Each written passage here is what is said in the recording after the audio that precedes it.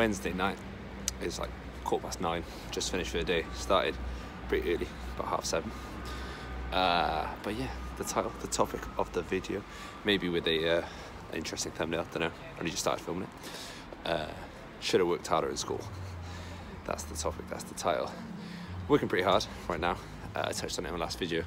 Uh, purchased a car. Uh, but yeah, people have said to me, "Oh, you know, you, you work really hard, so it's fine." But like, you know, you know, you hear that phrase, "Oh, you should have worked harder in school." I've had some tough times over these last few years. You know, putting in at early mornings, late nights, cleaning up people's sweat, people's sick, people's God knows what. You know, been cleaning it, and you think to yourself, "Oh, maybe if I paid more attention in maths or in science, or you know, if I actually turned up to my lectures when I went to uni, things like that, would that make a difference?" to where you are now. But for me, I didn't maybe didn't work hard enough as I could have then. But uh, I'm certainly working as hard as I could now, and uh, seeing the benefits, seeing the benefits. But I want to try and use that metaphor. Should have worked harder in school, uh, and apply it to fitness. All right, that's the plan. That's the, the idea. The idea being that okay, you are where you are right now because of what you've done in the past. Time to get your acting gear. Time to, trying to work. Time to put some effort in. Uh, but yeah, so that's going to be the overarching theme of the video.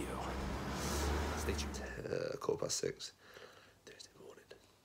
Let's hop in to a nice little edit of the day to see how busy that we can get or how busy that we do get. All right, let's go.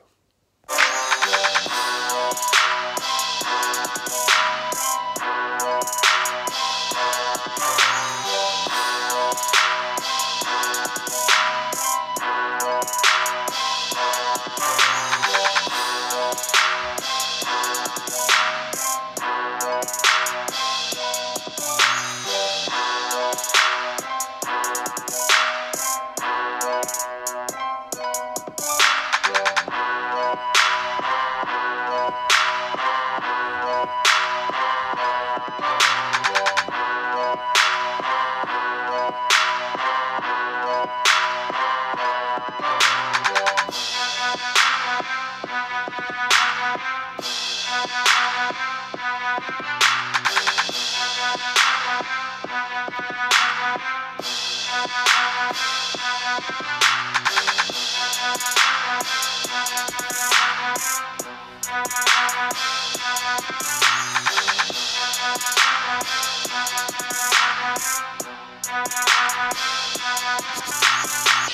as you can see, that day's pretty long. But yeah, so the message of the video, the metaphor within a metaphor, it's like it's like inception levels of genius in this one, right? So obviously, should have worked harder in school. Now working hard now. Not a bad thing. Not a bad thing at all. Apply that to fitness. So wherever you are now, you know, you might not be happy, you might be happy. It's the result of previous actions. AKA, should have worked harder in school. But it's not a bad thing. It's just got to work now instead of working where you did before, working how you did before. It's got to change things, put the effort in, find the motivation. Once you do that, you'll be laughing. Absolutely laughing. It is now the weekend. I have some fun things to do, which I'll try and put into a cool edit. Gonna go to London and see uh, Harry Potter and the Cursed Child. And then gonna do something pretty fun to end the video. Pretty fun indeed. Remember, should have worked harder in school, right?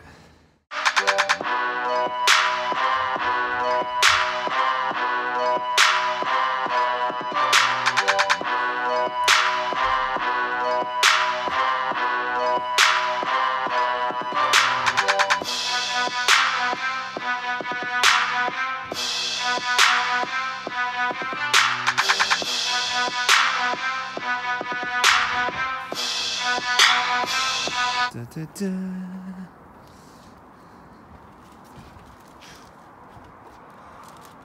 Yeah. So just got back from London, uh, saw Harry Potter and the Cursed Child, and it was pretty good. The magic was amazing. The story was yeah, was still pretty decent. Uh, well acted, all good fun, and then picked up the new car, which you'd have seen in the last clip, which just makes life a bit easier having two cars. It just you know, if you can do it, then then why not? Uh, and then obviously then going to round up the video with a big talk. So the title of the video should have worked harder in school. Did try, to apply it to fitness and say that it doesn't matter what you've done before or what you've done previously, but now, you know, if you want to make a difference, now's the time to work. Whether it's been good before or bad before, now's the time to work. Uh, and then, bizarrely, I, I like to talk to uh, like my friends, my clients, whatever, about those videos as I make them in the week. And we've been talking, and the topic kind of got onto school. And something that is actually quite interesting is, you know, the subjects in school that people laugh at. People are like, oh, no, you shouldn't do tourism. Oh, you know, you shouldn't do, um, you know, an uh, apprenticeship in plumbing or electrician. People are like, they, there's some sort of snobbery about it. And don't you think that's stupid? Like, you know, people say stuff, it sticks with you, and it shouldn't. And, you know, like teachers and your reports, like, chatting to some teachers that, you know, I had a, uh, my PE teacher, year seven, said that I was very unfit. Like, realistically, I had a knee injury, but that stays with me now and it still irritates me. Like, of course I'm not unfit. Like, you're mad. But then, like, they'll say, oh, yeah, because, you know, because I said that. That's what's inspired you to go on and be, like, it's a bit of a, it's one of those. And I just think that, like, for me, I came out of university and I, you know, I got a 2-2, which isn't as good as it I could have got or, or, or what I needed. I, I, did, I got rejected from going into teaching. I got rejected from going into police, just on the basis of, of the, the qualification I hadn't done well enough on. Uh, spent some time in an office, which I hated and then decided to make a change, to it off my own back, my own way, which really suits me. If you've met me, I'm quite driven, quite like narrow-minded is in, I want to do it my way and see how it goes. And if that's a failure, then that's on me and that's fine. Um, but from that, obviously becoming a PT, setting up CDF Fitness, going on now into management and doing other things, it's been good. It's been positive. But, you know, in hindsight, would I have gone to university for the degree? No. Would I have gone for the experience? Definitely. It was very, very good. You know, the subjects I did, I did sociology, I did politics, I did psychology. People told me in sixth form, oh yeah, they're not real subjects. You should do math, science and English, you know. The highest employer of graduates is call centers to show you how many people have got degrees and and how really it doesn't matter that much. You it's all about what you are going to do with it how you're going to apply those skills how you're going to how you're going to change it how you know you're going to go from someone who oh okay i'm quite interested in fitness to turning that into a passion. How you're going to go from i'm a musician who gets booked for gigs to i'm going to write operas and symphonies and all the rest of it you know it's all on you and i think don't let anyone else's opinion don't let anyone else's thoughts get in your way from what you're going to do and how you're going to do it and if it fails, then it's on you. But when it succeeds, it's on you too. Yeah. Big rant, big chat. You're probably thinking, what's this guy know? He just, uh, just press ups and stuff in the gym. But yeah, just my opinion, just what I want to get out there. And uh, yeah, you could have worked hard in school. You should have worked hard in school. But it doesn't matter. You are where you are now. Let's do something from there. Uh, but yes, next video, I'm in New York. So uh, stay tuned for that one.